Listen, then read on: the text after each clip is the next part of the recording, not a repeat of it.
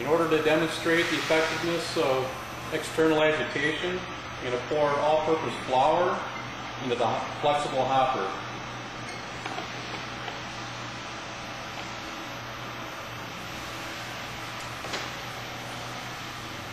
You see material discharging out of the end. At this point, I'm going to turn the external agitation off.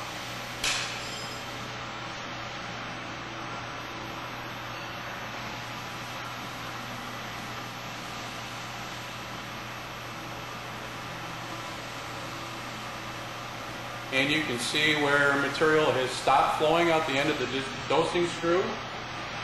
At this point, I'm going to turn the agitation feature back on.